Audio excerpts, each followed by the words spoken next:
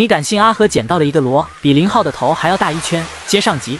哟，好大的椰子螺，得有五六斤了。林平也抬头看了眼，当即大喜道：“阿和，别显摆了，快捡，不然等一下都被老张一个人捡了。”老张听到此话，如同被人灌了一嘴的黄连。妹的，你们三人，我就一个，这话是怎么好意思说的？算了，不能争辩，万一被林浩惦记上，再设个计，把自己给祸害了。大家心中也有了共识，以后尽量不要得罪这伙。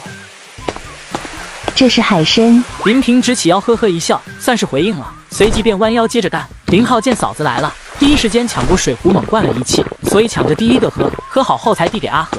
大哥，你就在这附近捡吧，我跟阿和翻上去看看是什么情况。说着正要往上走，看能不能找条道绕到巨石上，结果老张开口道：“都往回走吧。”迎着三人疑惑的目光，老张叹口气解释道：“不知不觉，我们都已经走到金钟村。”这里我来过，巨石过去全部都是陡峭的岩壁了，根本立不住脚。林浩掏出手机看了眼，早上大概六点钟出来，现在已经下午近两点了，时间似乎又唤醒了身体的机能。清早就没吃，现在突然就饿了。哥，我饿了。大哥，我们往回走吧。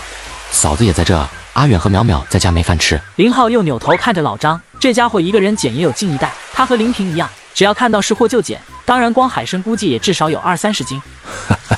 跟着你们发了笔小财。见林浩目光看着他的袋子，老张巴结的呵呵一笑。两个猪蹄，一对耳朵，老张没问题吧？再加一个猪心。老张也颇为大方道。隔着老远，林浩就看到夏蓉的面前围着一圈的人，大家都围着那两袋多海货说着什么。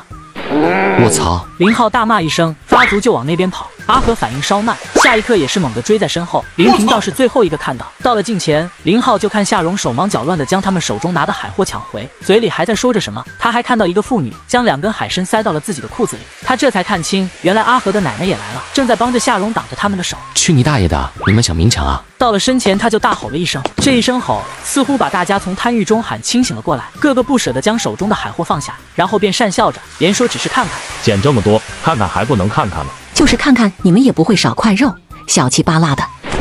要看看自己的去。阿和比林浩还生猛，一边骂一边掏出桶里的沙铲，就在两个袋子上边挥舞了起来。众人赶忙后退，也就走了狗屎运，有什么了不起的？就这小气劲也发不了财。妇人说完这一句就转身欲走，林浩直接拦住了他。你等一下，把裤口袋里的两根海参给我拿出来。妇人面上一惊，不过还是犟嘴道：“谁拿你家的海参了？你别血口喷人。”嫂子，你来搜，我隔老远就看到他塞了两根在口袋里。夏蓉本就一肚子火，听到此话，二话不说就上前。他快，还有一个比他更快的。阿和奶奶上前一把就抓住了妇人的胳膊，打人了，欺负人了。老林家仗着人多欺负人了，结果没一会，居然从妇人身上搜出了五根海参。再吼，信不信我报警？这些人都是证人，到看守所里蹲几天。林浩见他还在那没完没了的骂，再度吼了一句：“对，我们可以作证。”老张媳妇当先说道。妇人见此只得起来，边往村里跑边说：“这事没完，自己又不是不能捡，又在这看我们货的时候，说不准都能捡几根了。我们虽然捡了一遍，但这海浪不还是一直在打吗？海浪很大。先声明，你们出问题了，别赖到我们头上。建议你们都回家好好休息。”他的这句话像是一下子提醒了众人，大家这才纷纷散开。对于林浩后半段话，全当耳旁风，一个个不知道咋想的，围着我们也不带你们分。阿和没好气的说了一句，将桶里又捡了一点放袋子里，刚好三袋。大哥，我跟阿和在这看着，你和嫂子先回去，你把板车推到上边，嫂子烧点饭菜，直接去老张家端，他不会说啥的。阿奶，你中午也别烧了，在我哥家凑合一餐，顺便帮忙把货给捡一下。好，好，好，我帮你们捡。林平见他安排的明白，也不再啰嗦，回家推板车去了。这一会儿，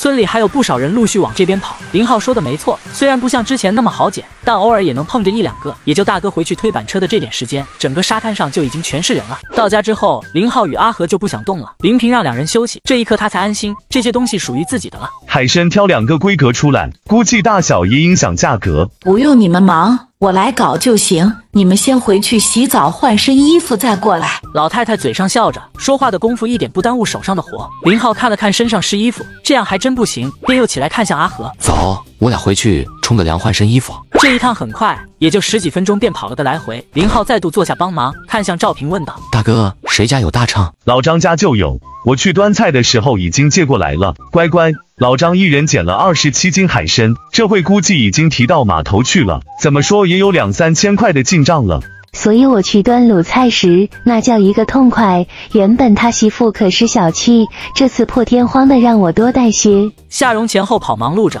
耳朵一直在听着后院聊天。见林浩问秤，他便接了口：“狗日的老张找他要一餐卤菜，总觉得亏了。行了，人家也是自己捡的，给咱菜那也是会做人的。”可不幸背后骂人，老太太抬手轻轻的拍了一下，林浩挑了一下最大的响螺握手里，这是他捡的，掂了掂，大概有两斤多。大哥，这么大个，里面会有珍珠不？林平摇摇头，这个里面不会有。随即又一直挑在一边阿和捡的那个大椰子螺，那个里面听说有人开到过，叫啥美乐珠，挺贵的，但太稀少。